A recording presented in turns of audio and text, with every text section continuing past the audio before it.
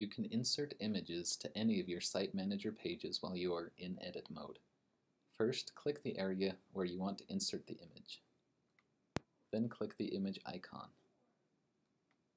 You can add the image either by pasting in a URL or by selecting an image already uploaded to the Site Manager server. Click Browse Server to see what has already been uploaded or to add new files. Simply double-click on the image you want to add. The image is now in your preview window. You can add in some alternative text or add some padding and change the alignment to your text.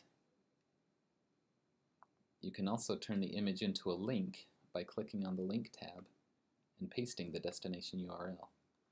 Click OK when you're finished. As you can see, this image is way too big. If you find that you want to edit the image properties again, simply double-click on the picture. To resize the image, return to the Browse Server option. Right-click the image and select Resize.